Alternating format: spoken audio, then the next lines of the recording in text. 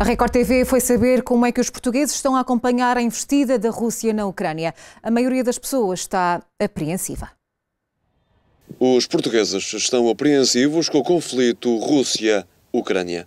Inacreditável que em pleno século XXI ainda se façam ações como esta, com esta atitude da Rússia, faça um país soberano, como é a Ucrânia, com esta, além da ameaça e todo o terror psicológico que antecedeu, também esta efetiva concretização desse ataque. É, é muito mal. Tudo muito mal. Pode ser desastroso para a Europa, sobretudo depois de uma, de uma crise económica, não é? Não sabemos muito bem como é que os países irão reagir a partir de agora e, e com, com, com armas e com poderio militar que nunca antes existiu, não é? Para mim, qualquer Estado soberano que invada outro Estado soberano, eh, quando não existem motivos para retaliação e para guerra, não faz qualquer tipo de sentido. Portanto, esta ofensiva russa, na minha opinião, não faz mesmo sentido nenhum.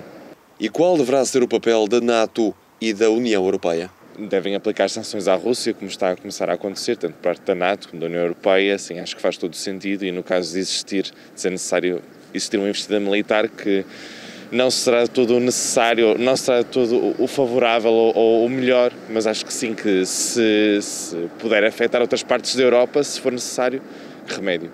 Quanto a Vladimir Putin, as opiniões são bem claras.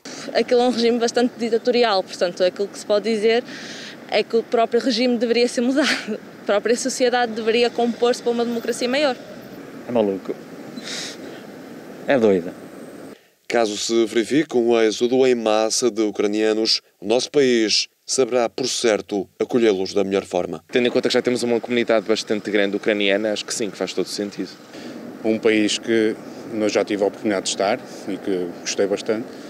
Uh, e conheço várias pessoas dessa nacionalidade. Portanto, os refugiados, nós como europeus vamos ter que saber lidar com isso. Vamos ter que os acolher e suportar o melhor possível o povo ucraniano com a nossa solidariedade uh, económica, militar, seja como for, porque estamos a reviver uma situação do século XIX, do século XX, mas acho que a humanidade no geral tem que evoluir, não é?